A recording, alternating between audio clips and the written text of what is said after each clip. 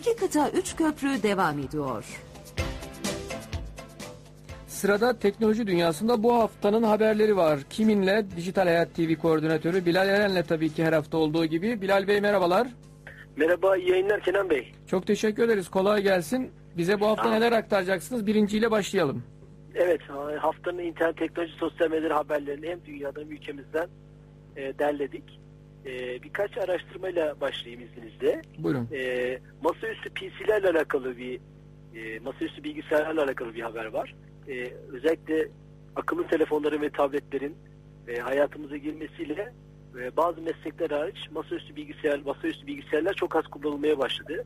Rakamsal olarak da 2015'te bir önceki seneye göre 10.6 satışlarda düşüş olmuş. Hı hı. E, bu da onu gösteriyor. Artık başka bir şeye yanımıza taşıdığımız ve her işimizi yaptığımız cihazlara doğru bir yöneliş var. Bu da rakamlarda bunu gösteriyor. Masaüstü bilgisayarlar bitiyor gibi en azından bazı meslekler dışında diyelim.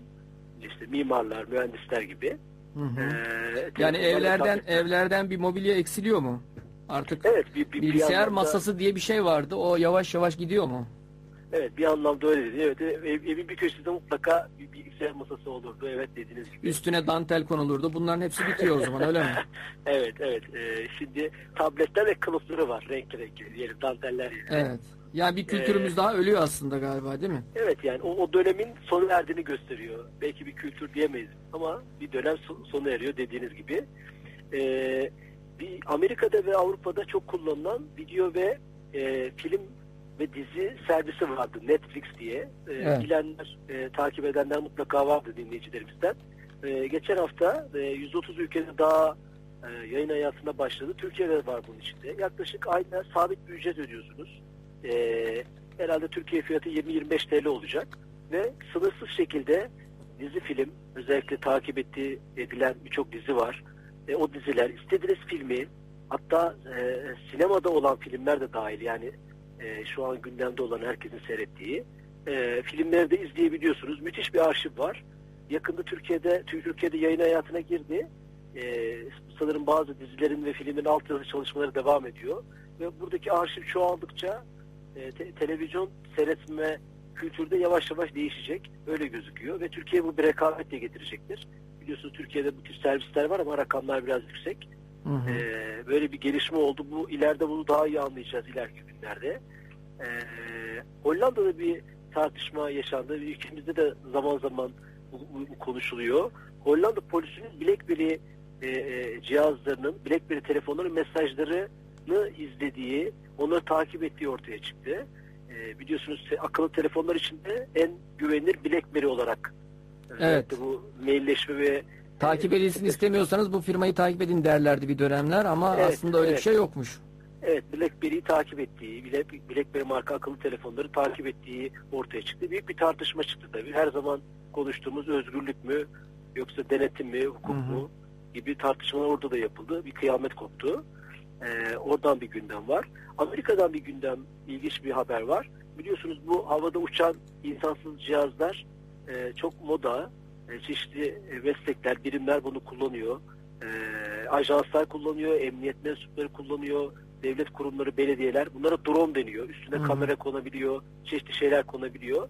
E, özellikle Amerika'da bu satışlar o kadar e, fazlalaştı ki bunu bir yasayla e, şey, adeta drone ehliyeti e, verme konusunda e, resmi çalışmalar yapılmıştı ve Ocak ayından itibaren e, bu hayata geçmişti. Şimdi ikinci bir şey çıkmış, bir drone limanı e, açılacakmış. Yani dronlarınızı park edebileceğiniz havalimanı gibi düşünün. Hı hı. 5 dönüm arazide Nevada e, e, eyaletinde bir drone limanı açılacakmış. Dünyanın ilk drone havalimanı olacak bu.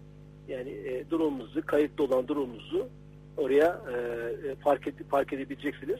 E, bir firmadan daha bir e, bu konuda çalışma var. Tek kişilik drone'lar üretiyor, üretilmeye ve bu konuda ARGE çalışması yapılmaya başlandı. Helikopter gibi düşünün, tek kişilik.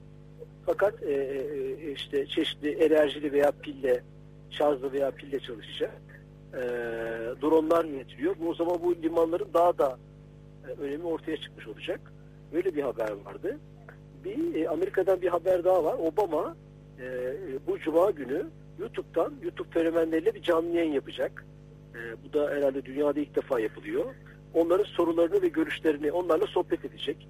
YouTube'dan böyle bir açıklama yapılmış. YouTube'a istediğinizde istediğiniz sorun başkan olmaya e, sloganıyla çıkmış. Cuma günü Amerika saatinin 12'de e, YouTube'dan bir canlı yayın yapacak Obama. E, bu en çok konuşulan olaylardan biri. Biliyorsunuz bizim iki programımız var. Onlardan da bilgi vereyim. Dinleyicilerimizden merak edenler vardır belki. E, bugün saat 17'de e, TRT Radyo 1'de Girişimci Türkiye isimli Hı hı. yeni bir programımız var 2016 ile beraber sizin yapımcılığını Hı. yaptığımız.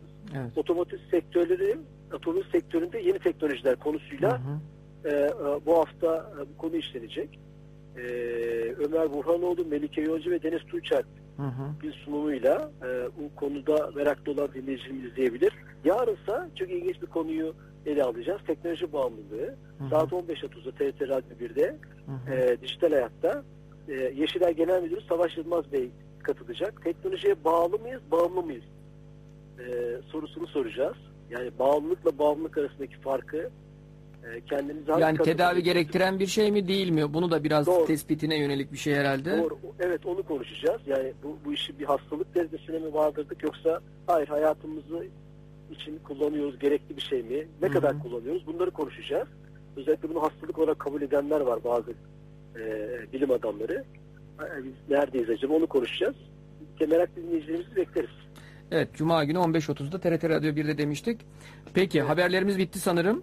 Evet. E, Peki, çok teşekkür ederiz verdiğiniz bilgiler için. E, haftaya tekrar görüşmek dileğiyle. Kolay gelsin. Dijital Hayat TV koordinatörü Bilal Erendi konuğumuz. Müzikle devam ediyoruz.